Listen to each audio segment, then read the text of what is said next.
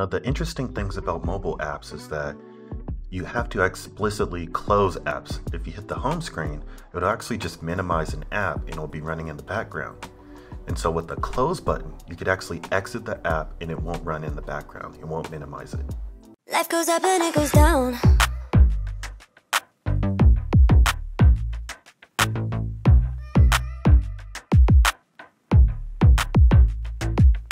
In this video, I will show you how I was able to create an exit button for my AR app, Eyelnd Feevr Augmented Reality, with the Unity game engine.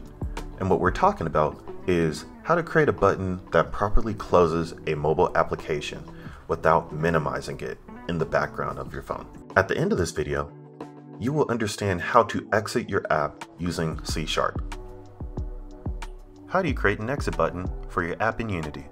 First, create a button, drop it down, resize it and name it close, change the text to close and resize it, create a new C Sharp script and name it quick game, open it and create a new method called exit app, add the code application.quit, add a log to indicate the close in the console, add the script to the scene manager, go to the close button and hit the plus sign, then connect the scene manager to the button, use the quick game script for the button press, and select exit app function.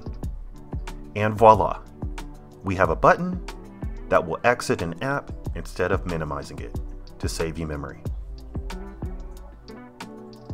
I was able to create this by first understanding the purpose of a close button and then implementing that into my AR app.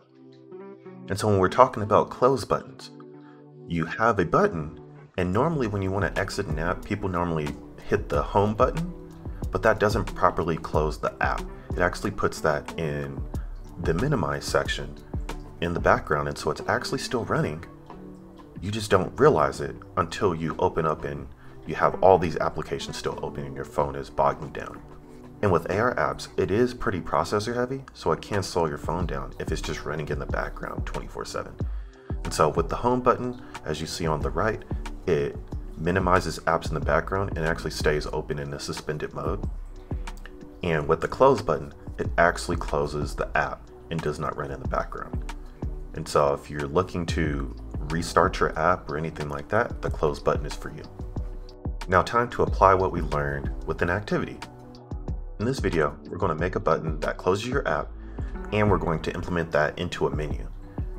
And the steps to do that are creating a button, creating a new C Sharp script, add the script to a scene manager, and then connect the manager to the button. So give it a try and post a reply in the comments to let me know how it goes. And if you're not in a hurry, go ahead and follow along as I work on this activity in real time. Here we go. So we're in Unity, and if you notice from the previous videos, we have a close button here.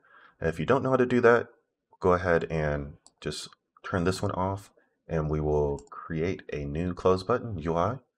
We'll go to button, boom, and in that button, we're going to actually just drop it down, and we'll make it much larger, try to match the size of the other ones like that. And then we'll call it just close button. So close BTN. And then from there, we'll change the text. So we'll call it close. And then we'll resize it like that. And that is our close button.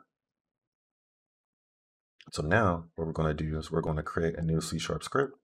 So right click, create C sharp, we'll call it quick game.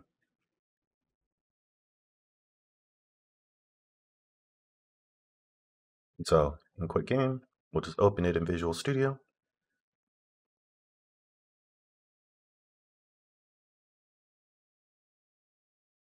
And so all the stuff that we have here using Unity Engine and everything, we want those still there. We'll just delete all the rest of the stuff, all the methods of start and update, and we'll create a new public method. So public void exit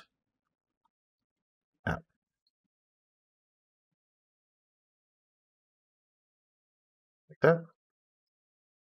And so what we're going to do is we're going to say application dot quit.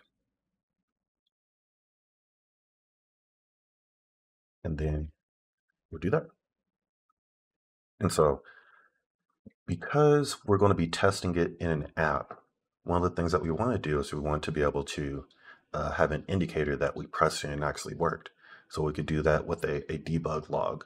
And so we say debug dot log and we'll say has quit game. Then put that there. And so now that we have uh, we have the application quit, and then we have a debug log that says has quit game to indicate that that it's quit, so that we could test it.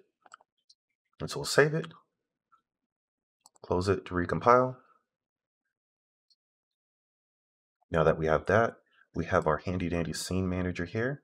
If you don't have a scene manager already, you could just make, make one as an empty game object. And we'll just drag it over. Now that we have that, we'll go to our close button. We'll go to the on click, take that scene manager. We're going to add the function called quick game and then exit app, just like that. And so now we have our exit app and we can test it out. So we'll save it. And then we'll click play.